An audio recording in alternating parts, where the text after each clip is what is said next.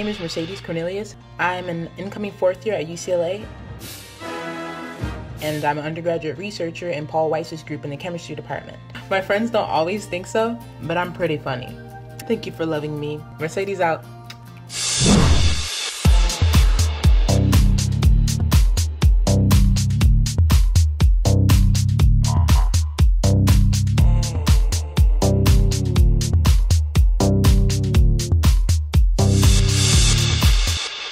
Nerd Girl Nation with Mercedes Cornelius.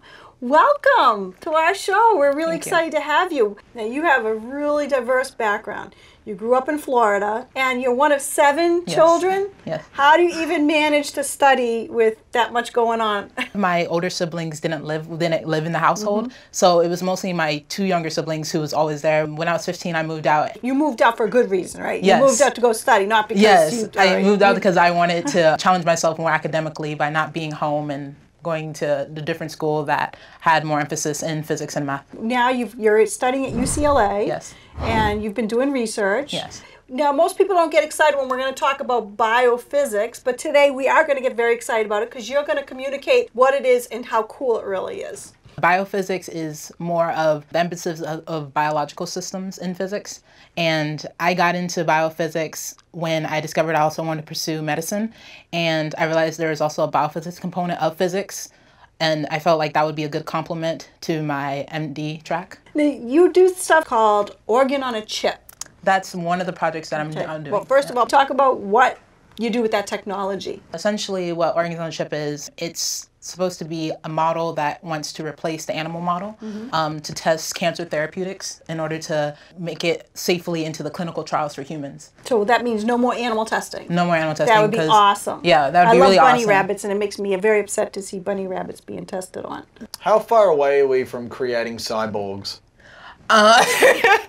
i don't know I, i'm a physicist organ on the chips can kind of be cyborgs if we find a way to have all a whole bunch of organs be represented on the chip besides that um, i don't know what you're talking about like serving you at home and stuff No, Like- just like I'm trying to take over the world. I don't think it's Oh. gonna happen. You sound like you'd be great to have around when the zombie apocalypse begins, Oh, though. if that would happen, I would just drink Red Bull and get wings and fly away. That's the There's- spirit. You've also got a very mapped out life plan. Tell us what it is. I would like to do research in China um, in traditional Chinese medicine, so I can be able to apply it to some of the research that I'm interested in for my MD PhD. Have you been a role model for your siblings? I would hope I am. I would hope I have been. Role models are so important. What were some of your role models? Albert Einstein. I love him with all my heart. Good kid. Um, yeah, he's so awesome. Like if he had a daughter, uh, if he had another daughter, I would think it would be me.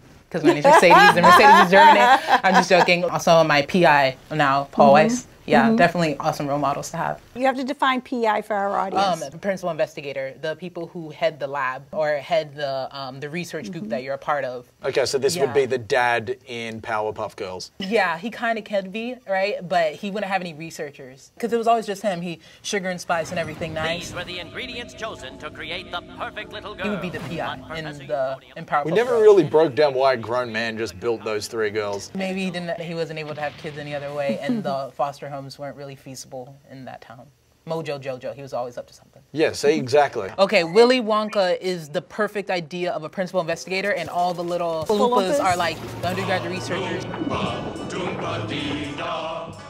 So basically, it's like minions. I love cartoons because I'm 10. We'd like to introduce you to Lisa Goel. Lisa, are you there?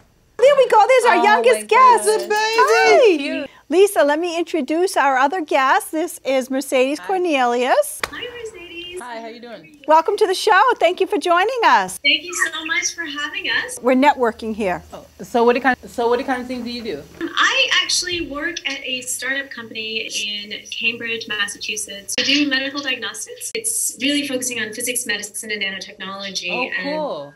yeah, and the greater mission and vision of our organization is really to deploy our technologies to the developed and the developing world. Is nanotechnology like Magic School Bus, where Frizz used to jump the little bus down and then we'd go inside and then we'd figure out why Arnold was sick? So I don't know Magic School Bus. You don't know See? Magic School Bus? The classic 90s cartoon. Magic School Bus. Bad. I know. Okay, well, basically, she was a terrible teacher that never got permission slip signed. She just took a bunch of kids and just threw them into a bus, and then she'd just go inside people. Seatbelts, everyone. You gotta check it out. I, th- I think this show's gonna blow your mind. When it comes to nanotechnology, let's just say I was Australian and I'm in an incredibly tight blue shirt and I really have no idea what you were talking about. How would what you do affect me in my daily life? Well, I would say that you're um, using nanotechnology. We could make your tight blue shirt tight. it's tight. um, and it would remain tight regardless of how many times you throw it in the washer. And how does nanotechnology do that? The thing about nanotechnology is that when you're working on such small scales, just by playing with uh, the actual fibers that go into making the material for that tight blue shirt, using nanotechnology, we could make those fibers tighter. Uh-huh. Um, so when you wear your shirt, you have that nice tight feel. a really general sense, like you can think of like nanotechnology just being like a really, really small technology that um, a lot of fields use to do a whole bunch of different things. That's what makes it really exploratory for a lot of scientists to look at.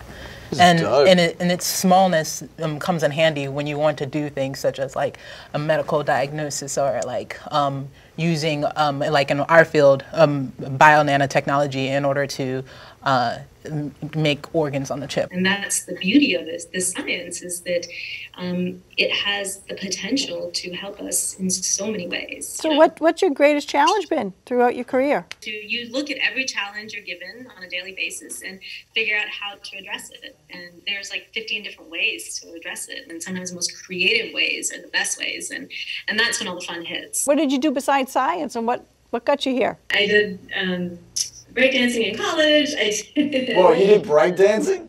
I know, I did breakdancing in college, um, which was really interesting because a lot of engineers were involved in that. I had a natural affinity for science. I really loved science. I really loved math. I knew that engineering was more of a um, direction for me. I think you screwed up. You should have stuck with the breakdancing. you could have been in a Drake video right now. Instead, here you are, all successful with a kid. You could have been getting called up on that cell phone. If you saw a 13 year old girl today and, and you were to give her some inspiration, what would you say to her? So encourage her to pursue math and science and engineering because um, we need more women in the field and to not uh, be intimidated. Mercedes, what about you? What are you going to tell that 13 year old girl or boy? pursue something that you think would make you always think you're having fun. We want to thank you both ladies for being on the show today. Thank you for watching. Biophysicists are my kind of hip. Nanotechnology, like an organ on a chip. Girl, I'm crazy about your beautiful mind. But you say you've got a crush on Albert Einstein. Albert Einstein? Seriously? I mean, seriously? What does he have that I don't? Except being the smartest man to ever live. What will he do that I won't? Except explain how things are relative. He's smarter than me, and I'll admit his hair is divine. That's why your heart belongs to Albert Einstein.